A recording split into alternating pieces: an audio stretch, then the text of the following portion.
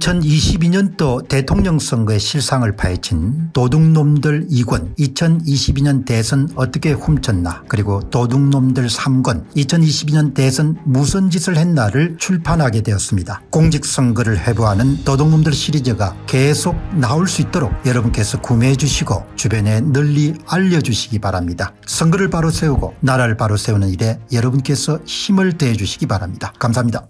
안녕하십니까 공병호입니다.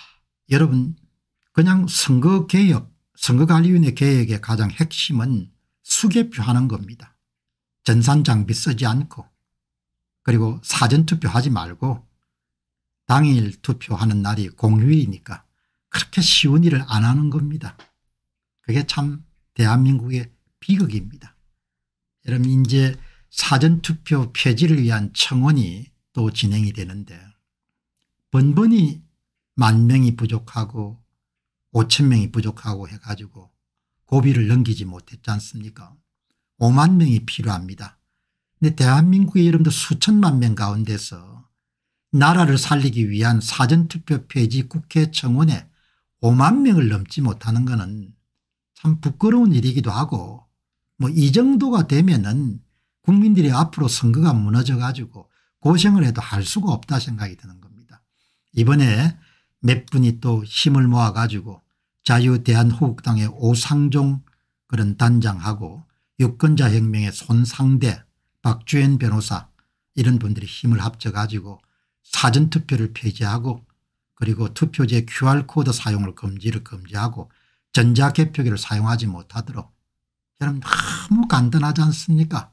선거를 도둑질 안 하려면 전자투표기를 쓰면 안 되고 투표지에 qr코드 쓰면 안 되고 예, 사전투표 폐지하고 수개표 하면 됩니다. 그럼 돈도 많이 안 듭니다. 수개표 여러분들 혹시 자원봉사 모집하게 되면 전국에 수많은 사람들이 자원봉사할 겁니다. 예, 비대한 여러분들이 2600명 800명 그렇게 큰 선거관리위원회 이런 상설 조직을 가질 필요도 없는 거죠. 그래서 다시 한번 여러분이 부탁드린 것은 조금 한 5분 시간을 내셔 가지고 예, 이 국회 동의 예, 국민 동의 청원 이렇게 누르시게 되면은 지금 진행 중입니다. 5월 23일 날 시작이 돼 가지고 6월 22일까지 13,761명인데 예, 이게 이제 29%니까 5만 명이 넘어야 그다음에 이것이 예, 입법화될 수 있는 그런 기회를 갖게 되는 겁니다. 제목은 사전투표 폐지 전자개표기 사용 금지 등 선거제도 개선에 관한 청원입니다.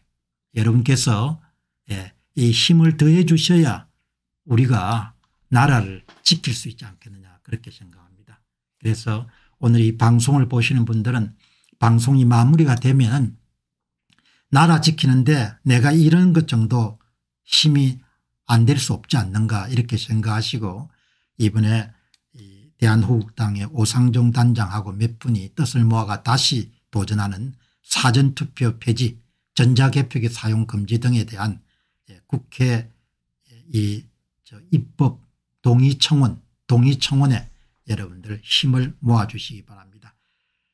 아마 이게 그걸 누르시게 되면 이 바로 연결이 될 겁니다. 그리고 그거 하시면 또 게시판 공병호 tv의 게시판에 가면 링크가 바로 있으니까 링크를 누르게 되면 또 아마 여러분들이 그렇게 쉽게 아마 동의 진행 청원에 동의를 할 수 있을 겁니다.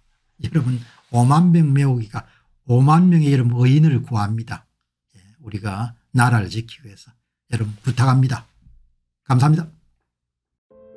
대한민국 공직선거의 문제점을 파헤친 첫 번째 책을 펴냈습니다. 제목은 도둑놈들 1권 선거 어떻게 훔쳤나 2017년 대통령 선거로부터 2022년 대선과 지방선거까지 전산 조작을 이용해서 후보별 득표수를 어떻게 조작했는가를 낱낱이 분석한 책입니다. 선거를 바로 세우고 나라를 바로 세우는 일에 여러분께서 힘을 더해 주시기 바랍니다.